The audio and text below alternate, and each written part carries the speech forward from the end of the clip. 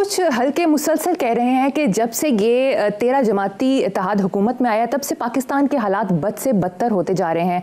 आप इस थ्योरी से सहमत हैं? मैं, देखो, मैं मुझे इस बुढ़ापे में आके यकीन आया है। मैं बचपन से पता था, सबको पता होता है, हम सब जानते हैं कि तेरह का हिंसा बहुत मनहूस समझा जाता है।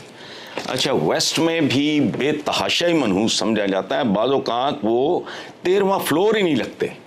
बारहवीं मंजिल के बाद चौदहवीं मंजिल। वो तेरह रखते ही नहीं। अच्छा मैं कभी पहले मैंने नहीं इस पर कान धरे थे, ध्यान नहीं दिया था। अब मुझे भी यकीन हो गया है कि तेरह से ज़्यादा मनहूस हिंसा हो नहीं सकता। सो मेरा मशवरा है उसे चौदह कर लें। लेकिन चौदह को पाकिस्तान बना था।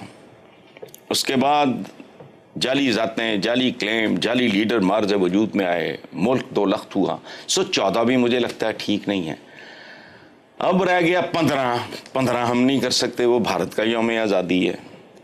तो फिर क्यों ना साहब सोलह जमाती नतीजा एक ही निकलता है कि चलो नहीं पंद्रह नहीं मेरा ख्याल है कि किसी अदद के बगैर चलो या सोलह का बना लो। इसका मतलब है तीन और सियासी जमातें। हम्म। जिस तरह की लंगड़ी लूली हैं इस तरह की तो दो तीन मैं खड़ी करके इनको गिफ्ट कर दूँगा। ये तेरह की जगह तीन और हों तो ये सोलह हो जाएँगे ना? तेरह चौदह पंद्रह सोलह। हाँ मेरा हिसाब हमेशा से कमज़ोर रहा है। तो इन जैसी लंगड़ी लूली तो मैं एक हफ़्ते में खड़ी कर सकता हूँ। अपने अखराज पे खड़ी करके इनको गिफ्ट कर दूँगा। सोलह जमाती कर लें। सोलह का सेन वैसे भी अच्छा होता है। जी लकी हमारी सारी शायरी सोलह साल से सोलह साल के गिर्द घूमती है। जी।